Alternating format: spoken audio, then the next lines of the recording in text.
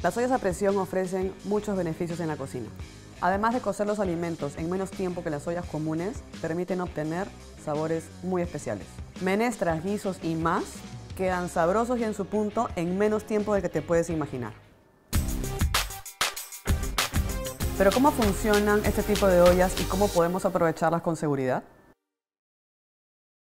Para cocinar muchas veces usamos agua hirviendo pero la temperatura a la que el agua empiece a hervir depende de la presión a la que ésta se encuentre. Si hay mayor presión atmosférica, como sucede al nivel del mar, entonces se requiere una mayor temperatura para que el agua hierva. Esto hace que se alcancen temperaturas más altas y que los alimentos se cocinen más rápido. En sentido contrario, a menor presión atmosférica, la ebullición del agua se alcanza a menor temperatura. Por eso, en las zonas altas de la sierra, los alimentos tardan más en cocinarse. Entonces, ¿qué pasa si al cocinar logramos aumentar la presión dentro de la olla? El agua hervirá a una mayor temperatura y los alimentos se cocinarán más rápidamente. Eso es justamente lo que está detrás del funcionamiento de las ollas a presión, que cuentan con una tapa que cierra herméticamente.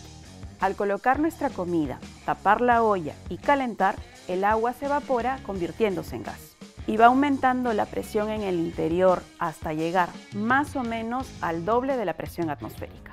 En estas condiciones, el agua puede llegar a hervir a 121 grados centígrados, es decir, más de los 100 grados que alcanzaría con una presión normal a nivel del mar. Pero además de la rapidez, hay otras ventajas de cocinar en una olla de presión. Por un lado, estas ollas no dejan que escapen los compuestos de los alimentos que se están cocinando, sino que estos se conservan y concentran, dando un sabor y aroma muy especial a nuestras preparaciones. Y por otro lado, como estas ollas alcanzan temperaturas más altas que las comunes, permiten eliminar más bacterias y contaminantes que podrían estar presentes en los alimentos. Es muy importante que no llenes la olla más allá del nivel indicado. Asegúrate de tapar correctamente la olla y no manipules la válvula. Una vez que empiece el hervor, baja fuego medio. Para saber cuánto tiempo cocinar, guíate de la tabla del manual. Nunca destapes la olla antes de tiempo. Ten en cuenta que estas ollas tienen una válvula que permite el escape del vapor cuando la olla ya alcanzó su presión máxima. Esta es una herramienta muy práctica para ahorrar tiempo y obtener mucho sabor.